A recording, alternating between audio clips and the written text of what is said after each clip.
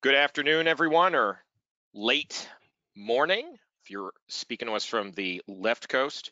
Um, this is Tim Sarrantonio, Director of Strategic Partnerships at Neon One. Uh, really excited for today's presentation today. Uh, just want to go over a few housekeeping items as we have people roll in. Um, uh, let me just minimize this. So um, first and foremost, today's topic, the impact loop to optimizing pivotal moments in your fundraising life cycle. This is going to be a, I can guarantee you folks, it's going to be freewheeling conversation. It's going to be a wild ride today. I'm really excited uh, about uh, the conversation that we're going to have. We're going to we're going to try to zero in um, uh, and focus our stream of consciousness that that our panelists sometimes get into in a really fun way, though, to give you some really tactical items that you can act on. Um, practically speaking, this is being recorded at the moment and will be uploaded into our Neon One YouTube channel later on. Uh, it is also the type of thing that that GoToWebinar is kind of nifty. You can come back and maybe later today, uh, you know, we'll get that up uh, tomorrow at the latest, but you can also go back and access the recording through uh, the event registration that you you went through too. So that's kind of a nifty feature that they allow. So multiple ways to access the recording, and we're going to follow up. Uh, we actually have some concrete resources and and uh, tools available that we think that are going to help with the conversations that we're going to be speaking today, especially um, a, a, nice guide that our partners at Firefly Partners have put together.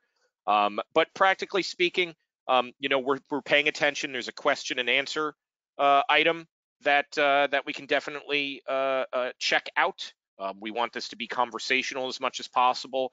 You know, we're getting hit with a lot of different webinars, so let's make this interactive and, and definitely feel free to to ask us questions and thoughts.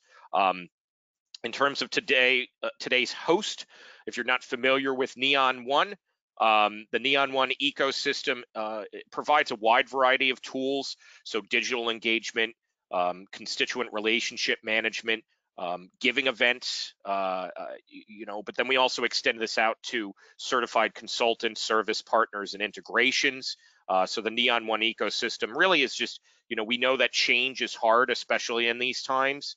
Uh, so, so being able to kind of guide you through that is really vital for for for uh, your success. And, and, we we serve over 35,000 organizations with our tools. Uh, we also already have a Q&A. Can't understand me at all. Can you folks hear me? I can hear you. Yeah. You can hear me? I can hear you. Mm-hmm. Thank you. Sorry, Stephanie. Uh, I would I would say my wife would probably say the same thing though. So um, so, but seriously though, if there's an audio problem, our team might be able to try to help, or or uh, definitely try switching from phone to computer or vice versa. That typically helps solve it. Um, so we do have a member of the Neon One team on standby. If there's any uh, kind of technical issues or questions that we can point you to. Um, and then also uh, there is a handout of today's deck. There's some resources that we're going to kind of use as a, hey, we think you should check this out, but aren't necessarily going to be the, the complete focus of today.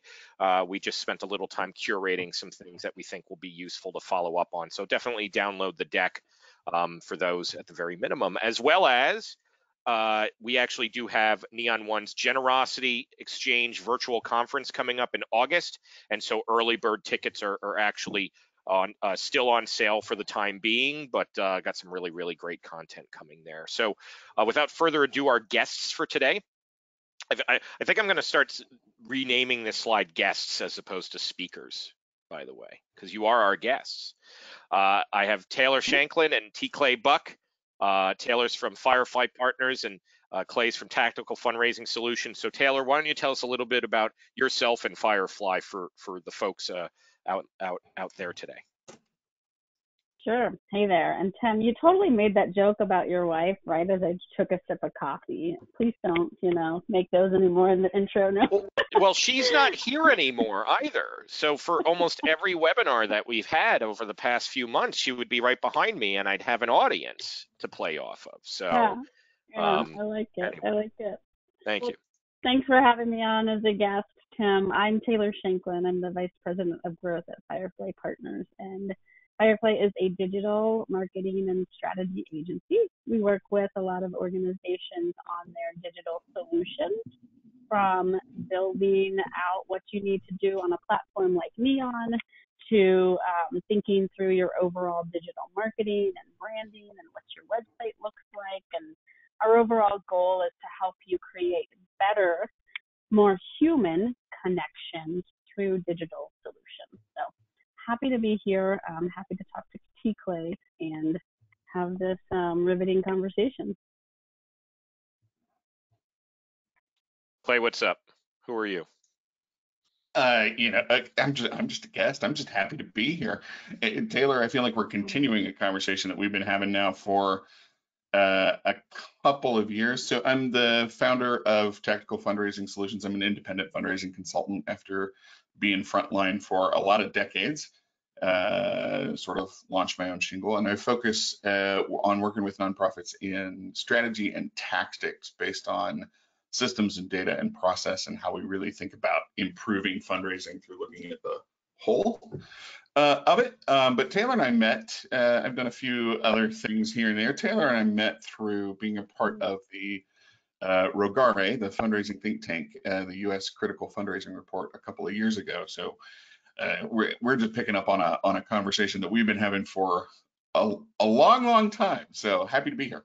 Yeah. Awesome. And and Yeah. thanks thanks for both of you for joining us. Uh, I I I turn to our partners a lot in terms of of how we want to build out the Neon One ecosystem. It you know one of the big things that we understand is that uh, we don't always have the answers, and and to be able to turn to our broader network of people that we trust is is extremely important. Uh, so that's why I'm really excited for today's conversation. And, and the way that we're going to be doing this, folks, is it's going to be kind of a, a freewheeling conversation for a large part of it, but we are going to get focused near the end in terms of some specific tools and applications that might be able to help you. Um, and so uh, the way that that we're going to generally do it, I'm going to give a few kind of framing devices for today. We're not going to pause on these. These are just to have you understand where we're going to think about the conversation today. So the first one is is you know when when we hear the phrase impact loop, what does that mean? besides awesome roller coasters. Love the imagery that our team came up with that one. I was like really jazzed actually. Uh, and then the other one, um, oh, did I did it get taken out? Did you move it, Clay? I haven't Yes, touched it. Okay. I- well, I all right. So then the other one is d- digital versus direct mail. Is that even the right question anymore? Right. And so I do want to go back and Clay, I want you to kind of introduce these two slides to kind of help frame the kickoff for today's conversation, which is, you know, impact, cycles, channels. How does this relate to the concept of the donor vortex? Right. So th- yeah. Um, and when you said impact loop uh, to me when we first started talking about this, right? I mean, it, it, from a true systems thinking approach, if we think about systems, all systems are kind of managed by those feedback loops. We know a system is working by looking at the feedback from it. For fundraising, it's metrics, it's you know functionality, it's you know all of those things. So that's immediately where I went in thinking about impact loop, which made me think of this um, from Claire Axelrad. And if if you're not familiar with Claire, um, her her work is is just phenomenal and constantly um, on point. Just a, a, a tremendous thinker and writer and author and sharer of um, great information. So she she wrote this article. I want to say it's been six or seven years ago now, right? Death, rest in peace, donor pyramid, where we think of the the traditional donor pyramid where a donor comes in at the bottom and right and then we move them to major gifts and then we move them to planned giving and right and it's this it's this And then they die, and then and then that's it.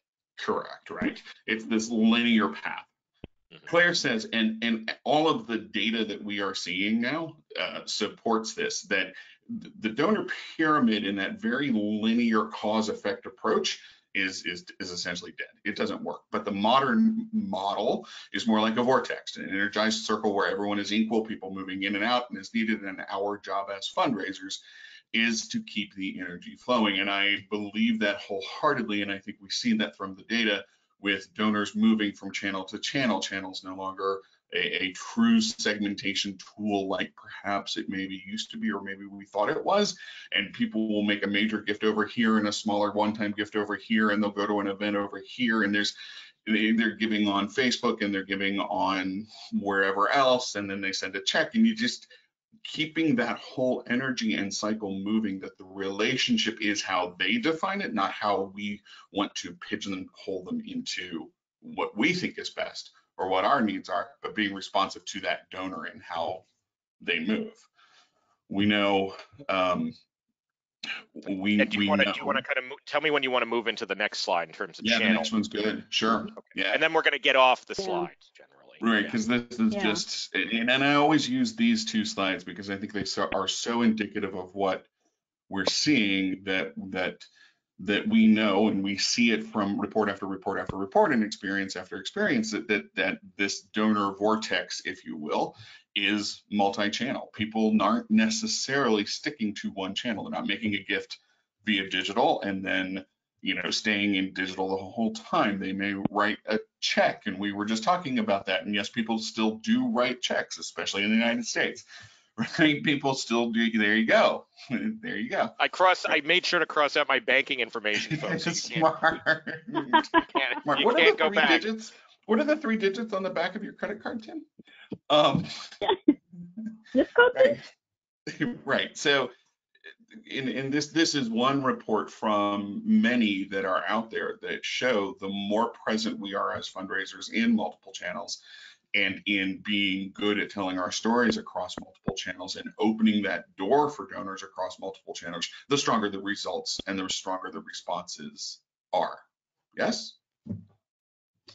Yes. Yeah, I like it. I hadn't actually seen that vortex thing before until you showed it to us, Clay, and it makes so much sense in the fact that like the pyramid, like donors don't think about themselves in a pyramid. They're not like, oh, I'm going to be a college student and I'm going to volunteer because I have no money, and then I'm going to make a little money in my 30s, and then I'm going to become a major donor, and then I'm going to be the planned donor and then die. Like they don't think about it that way. No. They think about how am I engaging with things that matter to me, right? And so like as you think about the impact loop and multi channels, you have to like get into their brains more and stop I think like using so much of that like jargon almost in a way where it's like like we just put that on the donors, but they don't think that way. So I'm Mhm. glad that you brought that up. Uh, this is and this is going to come out of left field, but that's kind of the nature of where I, I thought this would happen. The reason that data is so important, though, is that that memory is very selective, right? And so I think a mm-hmm. lot of times if we think about our donors, we think of them in, in almost monolithic ways, or or we might think about specific donors in in and say, oh, you know, I remember when they were at this event or something like that. And you're trying to use your memory, and it and it jogs. Have you, any of you ever read the book from Chuck Klosterman, Sex, Drugs, and Cocoa Puffs? I heard So- of it, haven't read it. It's a great book. It's a great book. It's my mom back in the day. She's like, this book is stupid, but I, I thought it was very funny. And there was one thing that he talked about in terms of human relationships. This isn't necessarily donor stuff, but I think that it comes down to very kind of core items. And hey, raise your hand if you've read the book, um, uh, so to speak. So there's a thing that he talks about with Saved by the Bell, the the terrible '90s show with with uh, Mark Paul Gosselaar and and uh, uh, you know, uh, Zach Morris, AC Oh. Slater, Screech, all that type of stuff, right? Yeah, call me Yeah. and timeout, right? And Yeah. so the but there was a thing during the final season where some characters on the show got into a contract dispute and then left. So then they added a new character named Jesse that was a love interest for not Jesse. Um, oh, why am I blanking on her name? They uh uh okay, if anybody in the crowd remembers the name, then please. Um oh, and somebody's actually Somebody yelling at me for saying terrible. Okay, but they added another character and and she she had like leather jacket on and she was supposed to be like vying for the attention of AC Slater and Zach and then and then then they had the graduation episode and that woman just disappeared but the other it was Tori thank you Tori Tori was the character Yeah. and then but then I remember her. But then Kelly Kapowski came back and Jesse Spano came back for graduation and Tori was never heard from again. And Chuck Klosterman talked about this that many human relationships we tr- we tend to think them as like almost like a linear engagement, but there's often many Mhm. months of reality where it's like no, we hung out. Like totally we we hung out all the time. And it's like no, man, I was like in I was in Europe for 6 months. Right?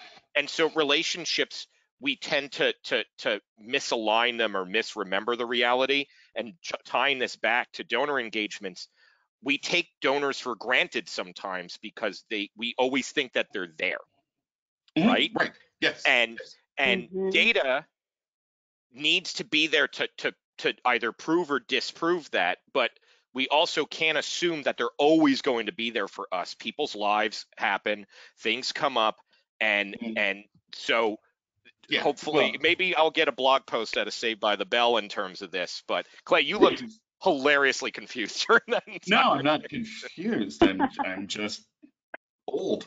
Um, no, it's it, but it, it's Mark Phillips. If you've ever seen Mark Phillips from Yes. from Blue Frog in the UK present, right? What what is it? He says it's she is not one of your donors. You are one of Yeah. her charities. We have Yes. to shift our thinking to that. Be, be- you're right. The data is there, but the, the data tells us when they gave and what they gave and what they Yeah. gave to. Mhm. What we Yep. don't know is is what was that emotional moment moment? What was that thing that connected to their values that prompted them to give? If we hold that thought that giving is always an expression of values, of belief, right? Then then that has to inform how we approach the multi-channel vortex and how we approach the relationships. They're not there for us. We're there for them. Mhm. We're Mhm. there. We're there to help them realize the vision of the world that they want to see through a nonprofit's mission. That's that. That's the critical shift here. Our job then in managing the vortex is to connect to that and keep that connection alive.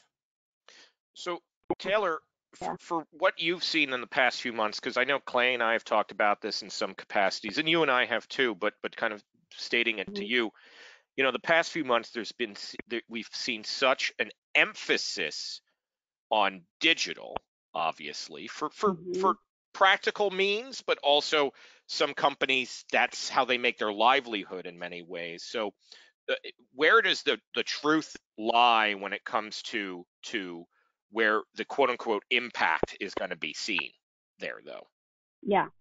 In digital digital versus or in what people should actually be concentrating on at the end of the day because because you know we can Mm. start sharing some data in general and i even had some internal data from the neon one ecosystem that speaks to this but uh you know we're getting inundated with so much digital stuff and it's obviously important but Mhm. especially as a you know a firm that works in, in heavily in the digital space where do you fall on this Yeah, yeah. You know, I think that digital and direct mail still need to work together and different types of engagement points need to work together and don't like I mean, I like to do digital all day long. That's where I grew up in the nonprofit space. That's what I care about. I've helped build technology platforms to help people fundraise. And so, like, that's what matters to me.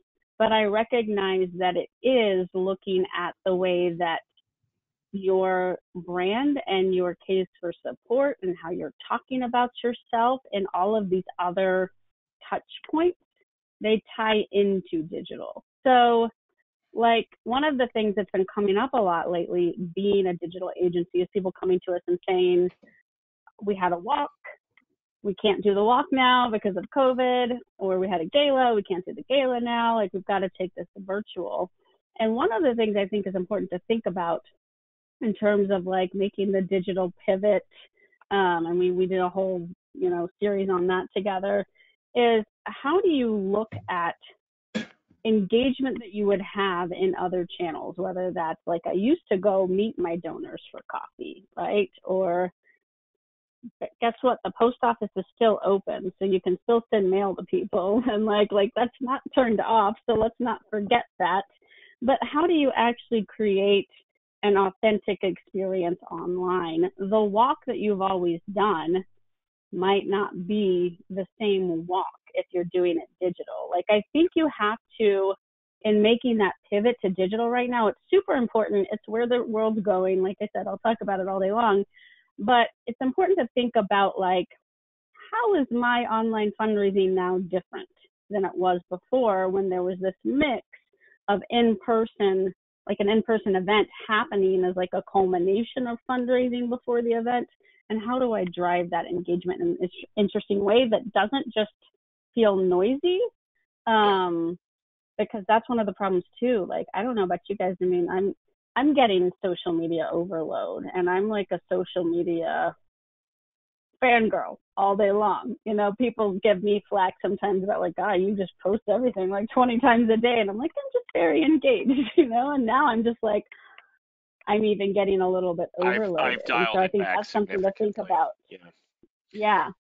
Yeah. I- I mean, our Twitter wars, they're fewer and far between lately. No. Yes, yes. Well, and, Which and my feed has slowed down immeasurably because you two have stopped. now, Clay, I, So I don't know. chart, Did that answer what you were getting at, Tim? It does. I think it opens up a lot more questions, though, in in in many ways. Yeah. But Mhm, before getting mhm. into that, and and and and Clay, I wanted to go back to the chart that you showed, which, and I'll show it again for everybody just in case to remind us. Um, talk about the technical difference, and this is our our friend Brady over at NextAfter, I know, in terms of this. But but kind of walk us through what's the difference between offline with valid email and a proper multi-channel definition. Uh, my understanding was that offline with valid email from the study meant right these these were responses to a direct mail piece, but they had a, a, an email address on on record that was valid, so they were getting communications, not necessarily the ask. I, I could be wrong.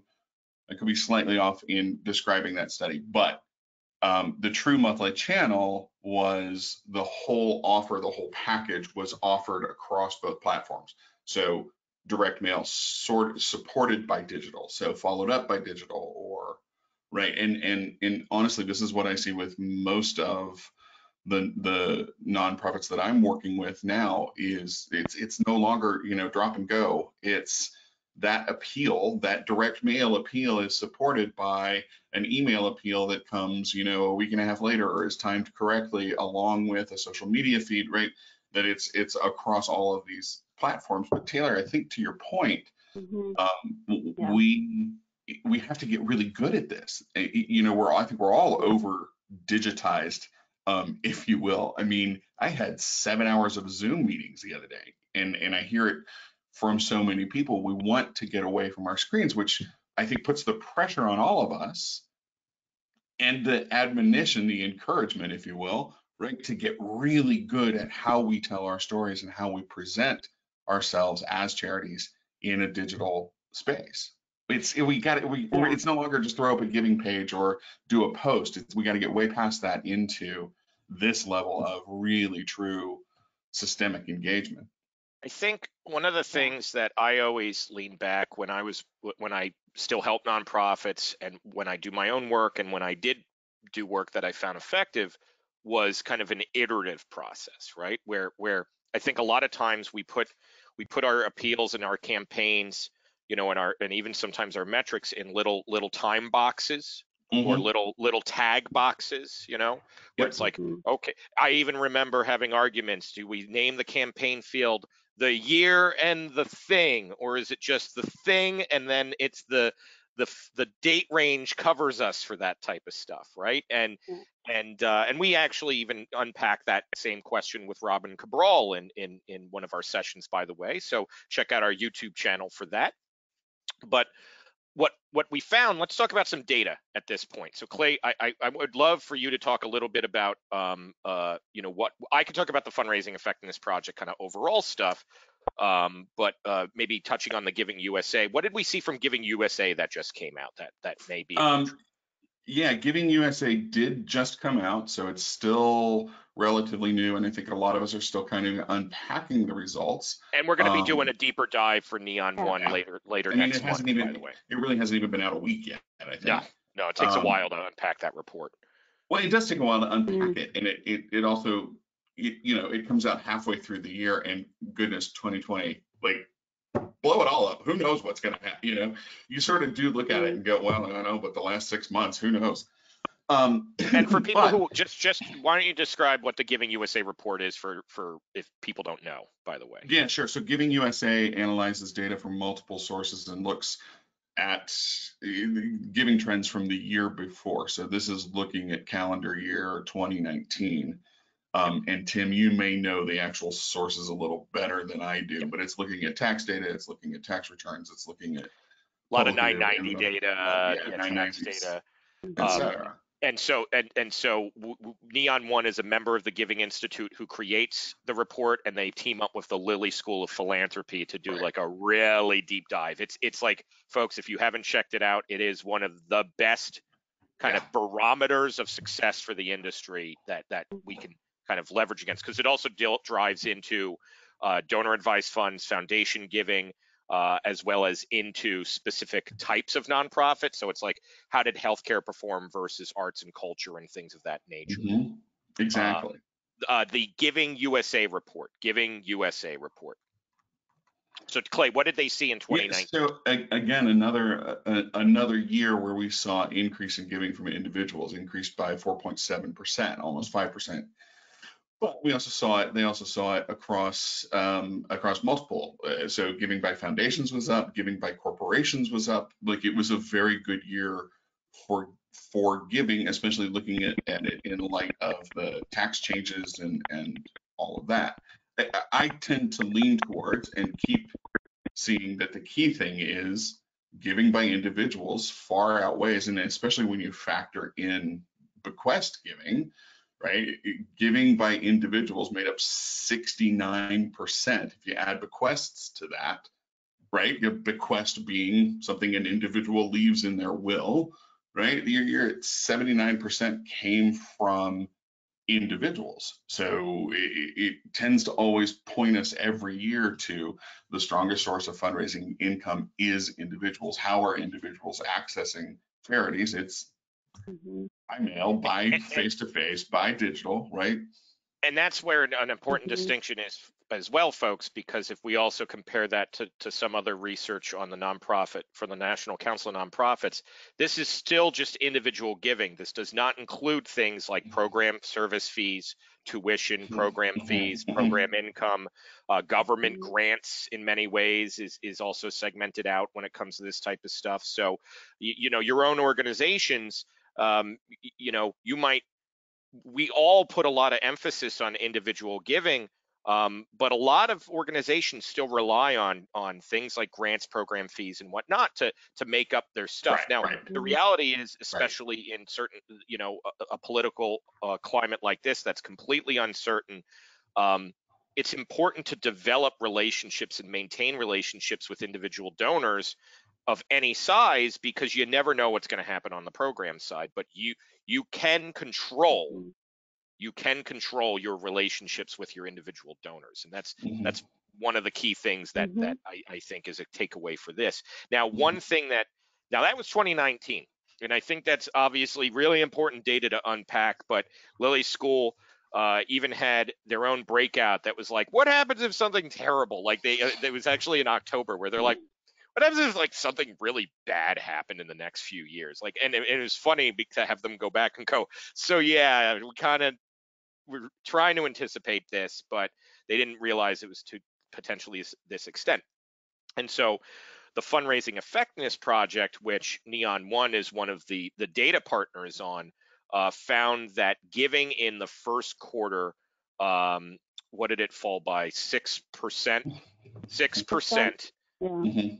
Um uh you know with with it donor retention continuing to fall which is another red flag but i don't want to freak Mhm. everybody out because there was a silver lining of donor donors who are what is qu- quote unquote small bucket donors donors under $250 actually increased by 5.8%. The Chronicle Mhm. Philanthropy article is wrong, by the way. It was not 6%, it was 5.8%, but I digress.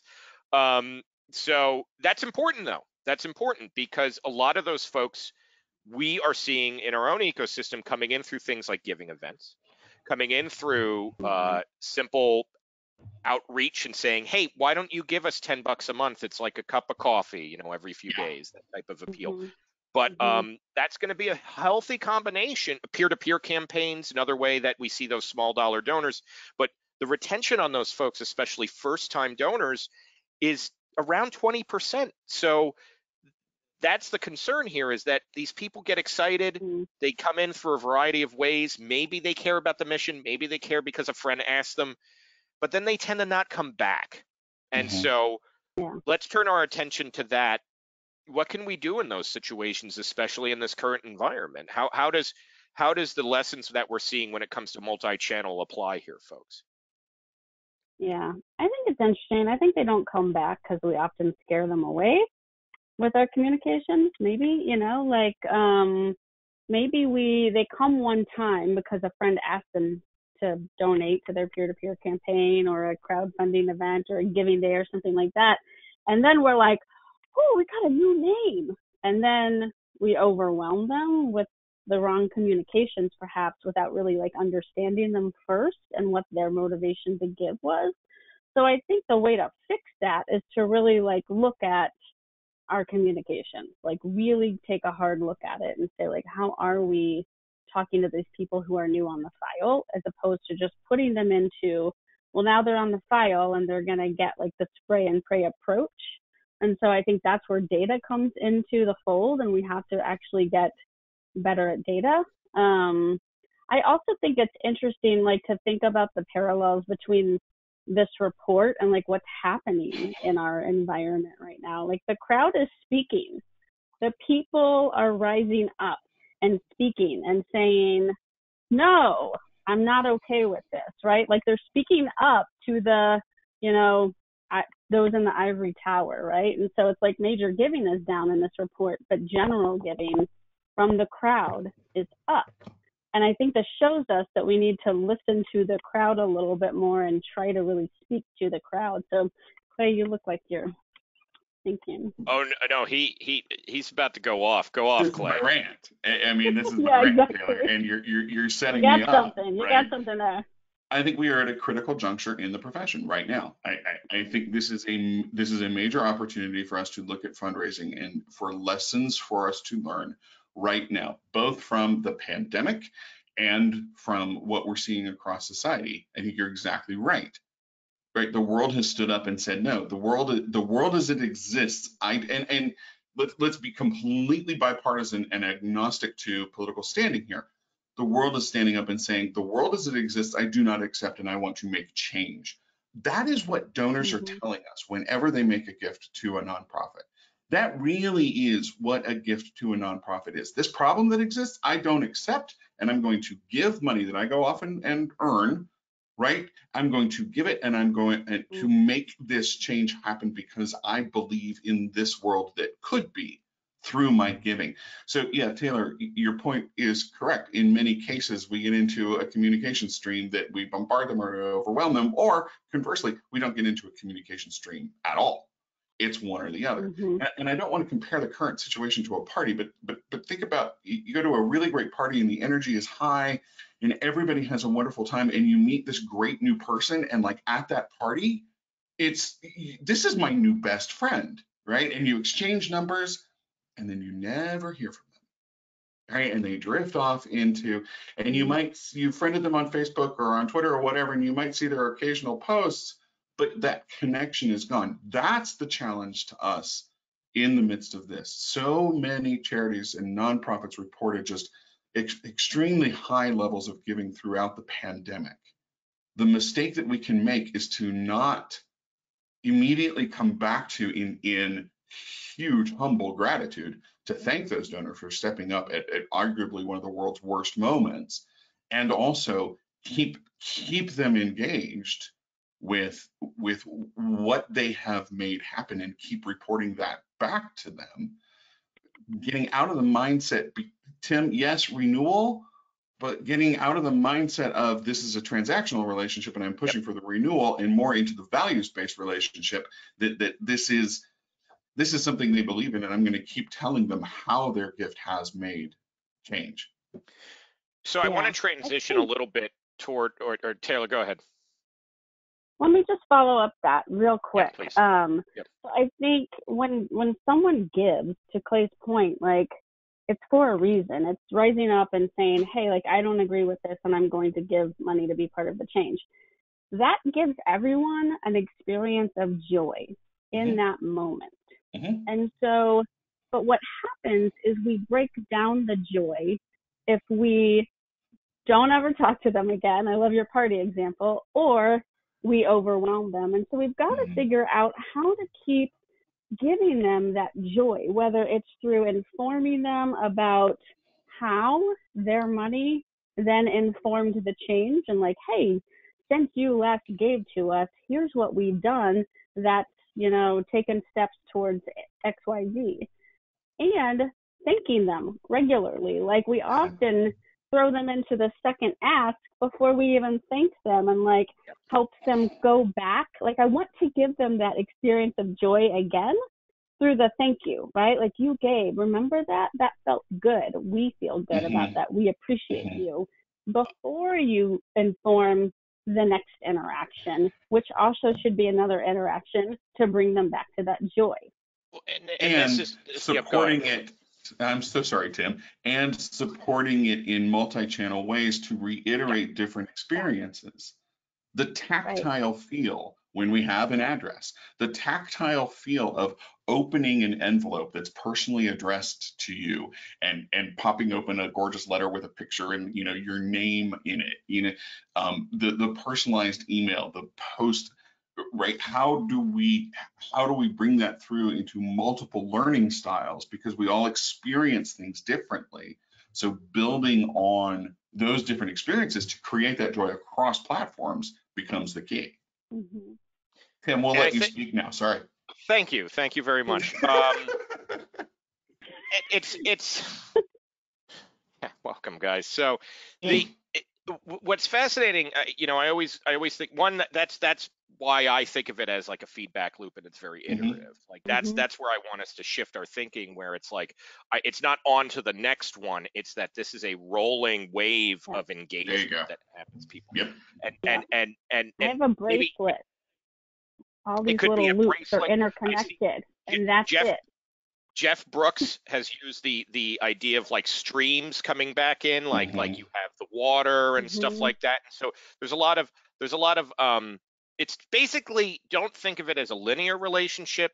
Time is a flat circle, all of that type of stuff, right? But but it reminds me mm-hmm. from a practical standpoint, one of the and I remember this over a decade ago. I was in Chicago. I was attending a, a seminar, uh, trying to learn to be a good fundraiser, and and um, and it was put on by uh, um, you know kind of a social justice organization because that's what I was working for, and I was just learning to be a fundraiser. And one of the things that the presenter told told the crowd was, you know, I just gave to a a, a prominent national nonprofit, and uh, and I thought it was a pretty good amount. And then the next communication I received was another appeal, and mm-hmm. what that said to me was, mm-hmm. "Thanks for playing. Try again." Mm-hmm. And that I've never forgotten that. And so I want to uh, boo! Exactly, Mary Kalan. So Mary Mary Kalan's in the mm-hmm. crowd, by the way, another Neon One consultant. She actually wrote, "Interesting and heartening that the smaller donors, quote unquote, are the ones giving. Those are the also the people who are hurting the most right now." And I yeah. think that that's a good point. And and I think that uh, this speaks to the power of resilience, the power of of of where people step up when they're most needed and when they're asked as well um, if they feel appreciated.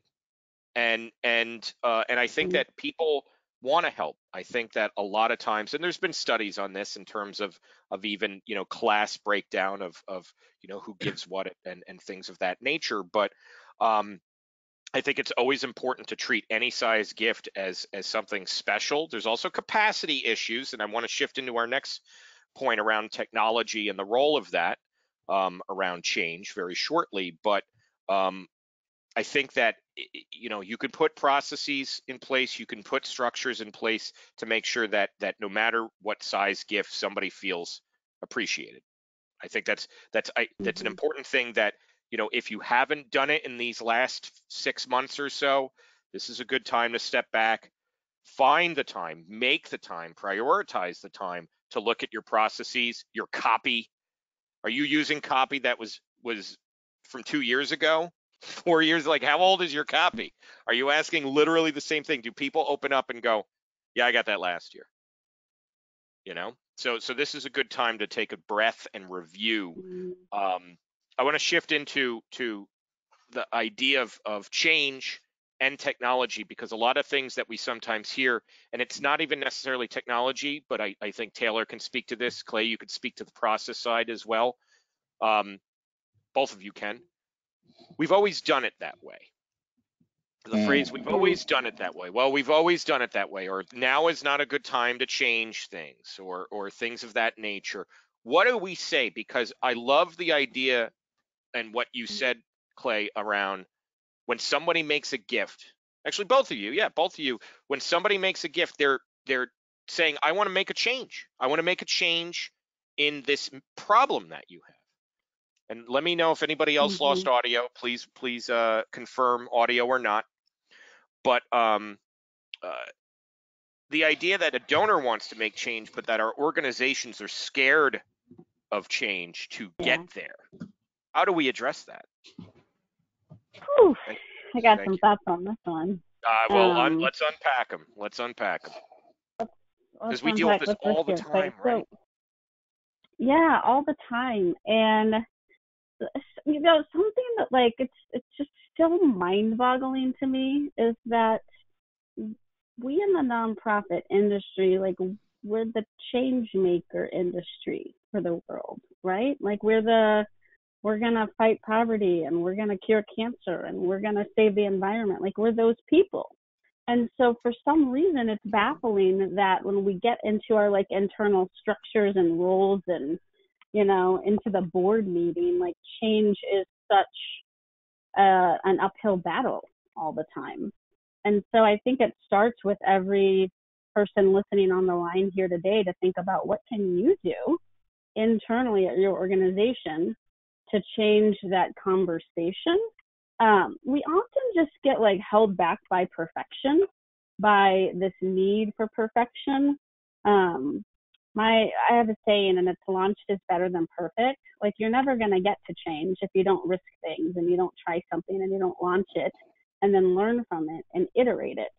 And that's really something that I think digital gives us a lot of like flexibility around because you can launch something and you can put it out there on your website and oh guess what you can just log into your WordPress and go like if that verbiage wasn't quite right you can go tweak it. So I get that like digital is a really great way to test and try new things whereas like direct mail once you have something sent off to the print like it's done oh hope we didn't get that wrong right? But digital is a good way to start thinking through like changing things and trying new stuff you know? So, and let's drill into that because somebody did say, you know, and let's. I love the full disclosure approach because because they said, is there an agenda for this webinar? Where is this going? So I think that's a fair question in terms of, you know, we did state up front that this would be a free flowing conversation, but maybe we can drill into the tactical elements now in terms Yeah. of of employing multi-channel, which was ultimately the point of this webinar. So so Clay, let's let's kick it over to you for that, and then Taylor, I want you to talk a little bit about the resource that you've developed for this too. So tactics, right? And what ev- what everybody needs is how, a specific how. How do I do this? How do I accomplish this? With with the goal always in front of the fundraiser is more donors giving more dollars, right? That's and how do I how do I do that? How do I implement a multi-channel program? How do I? I think though we are at a critical juncture, and I understand the weight of what I'm saying here. I think we have to right now at this time in history take a moment and our our governance and our boards need to be on this and start seriously asking how are we going to change our approach and our thinking about what we're doing the the call is in front of us loudly and oh, loudly loudly and loudly that that what donors are saying to us through the levels of giving that we have seen through the pandemic, through what we're seeing with the these movements and communities rallying together. Donors are saying to us, we are placing values in front of everything, what we believe and what we want to support. I, Tim, you and I have had this conversation a thousand times, and I say it as often as I can.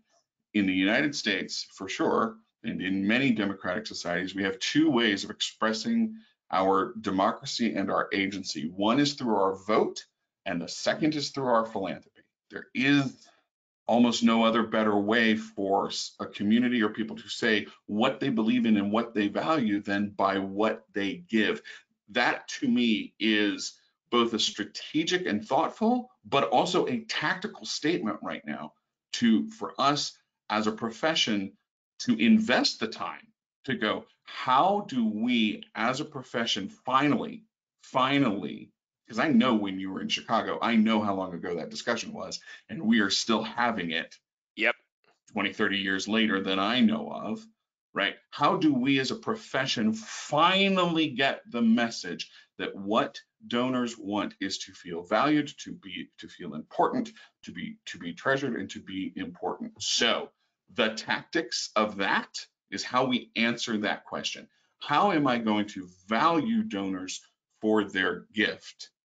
And that and the answer is I'm going to get a thank you letter out in 48 hours and it's going to be warm and fuzzy and I'm going to report back on how their gift was used and all the things that we know from Penelope Burk and Ken Burnett and donor centered fundraising and we're going to implement all of these and, and Adrian Sargeant and Jen Shang. I know I'm trying to grab if I have the books to right. show everybody. Yeah, we should, we, that shelf. Um, right. This is fiction.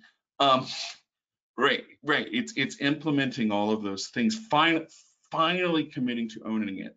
We all want a world. We we and, and I think in some ways we're still clinging to a world that's going to come back. And at some point here, there's going to be a magic moment. We can start up all of our galas again. And um, funders are going to go back to funding the way they were. That world is over. And if it does come back, it's a year away at least. So what are we going to do for the next three, six, nine, 12 months? These are the questions I think, the tactical questions I think we have to be asking and driving with our leadership and our boards to really look at how do we as an organizational identity value that, that import that donors of all levels have placed in us.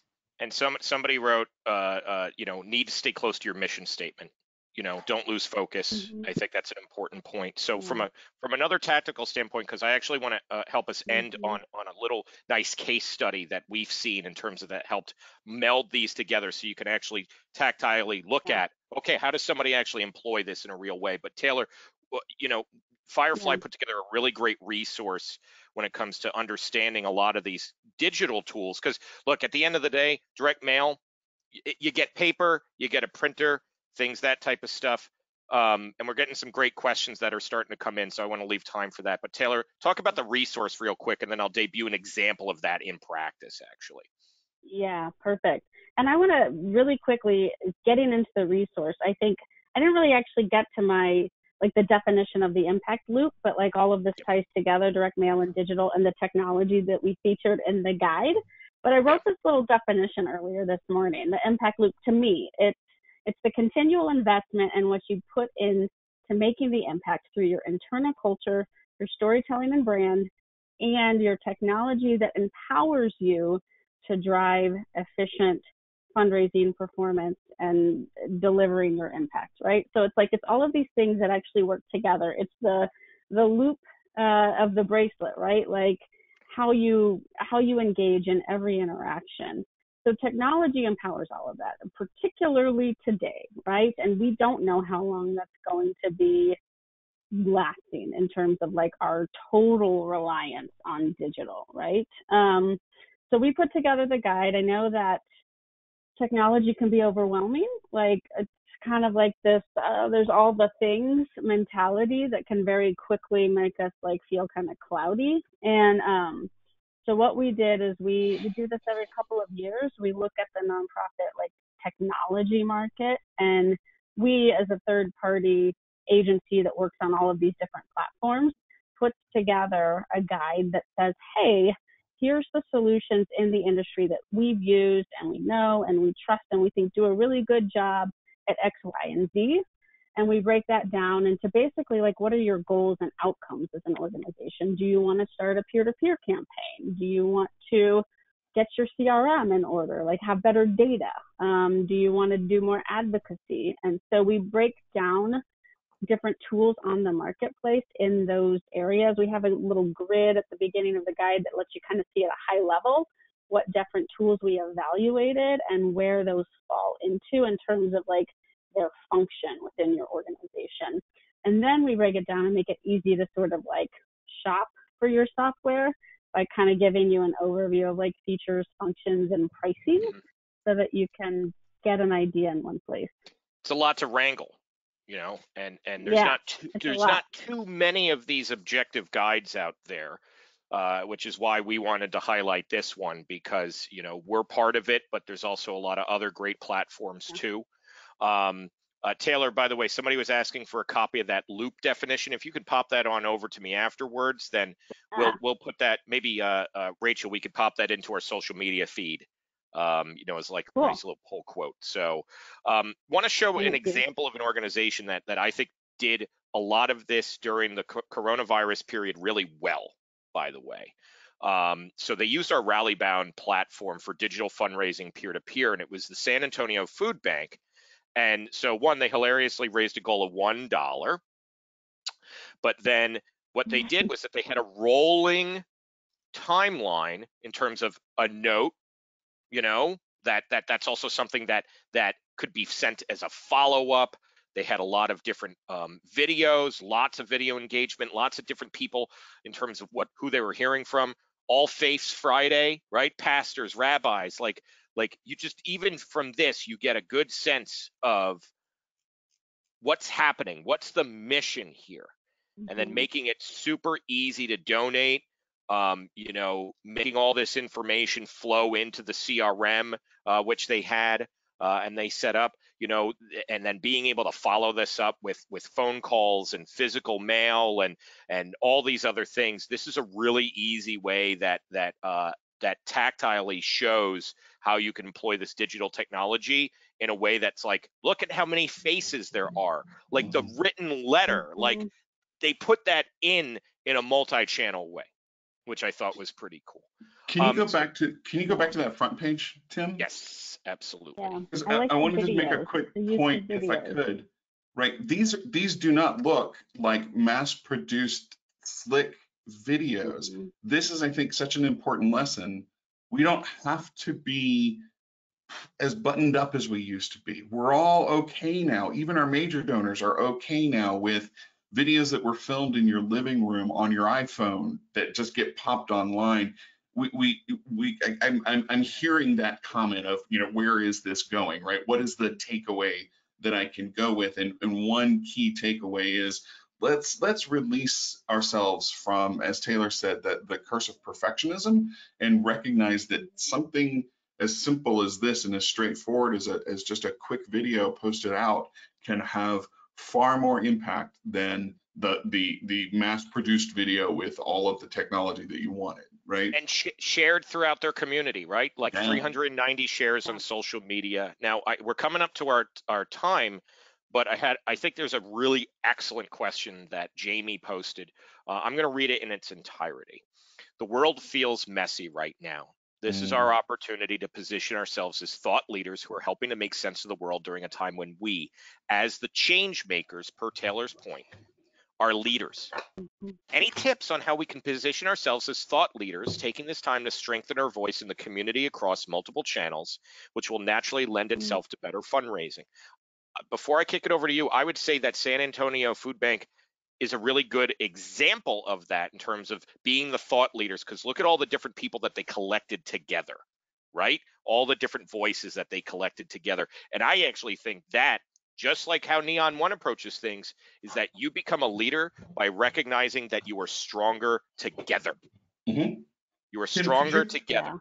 And so be, looking for the connections in your community, even I was talking to a local community foundation earlier today, and what they were trying to do is figure out how all the different food banks in their community work could potentially work and collaborate with each other. That is leadership. Now Mhm. let's kick it over to you two though to kind of have some ending thoughts on that.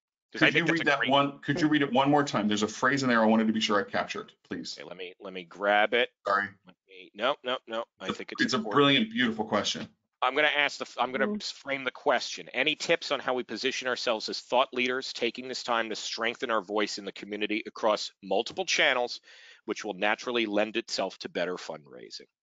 Right. So, um, first, first, I want to say it's very easy to look at a food bank or, or other critical need and go, oh, well, of course, during the pandemic, you know, they were critical needs. So of course they raised tons of money.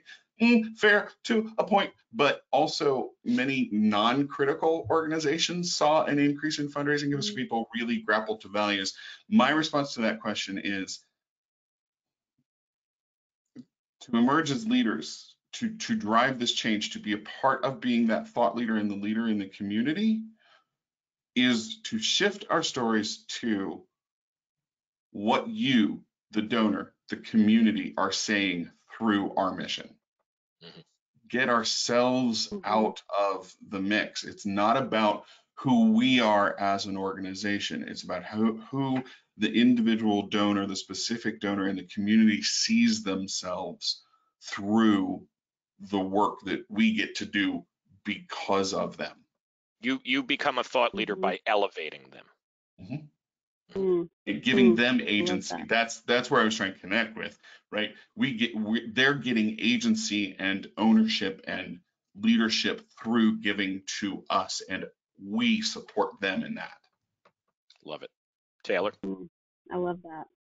Yeah, I mean, I, ca- uh, at a high level, I'll say this to tack on to that, Clay. Like your cause has a connection to the current environment, no matter what that cause is. We are all in this environment together right now, and so just find a way to connect the dots through the language and the words that you use to relate to everyone uh, in your community on that connection.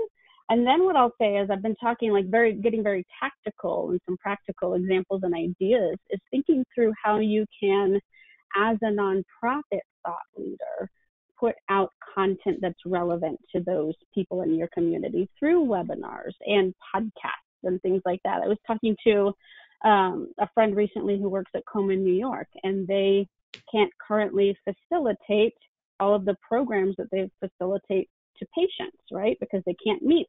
And so they've instead been doing like tea times over Zoom and stuff like that and still facilitating that sense of community.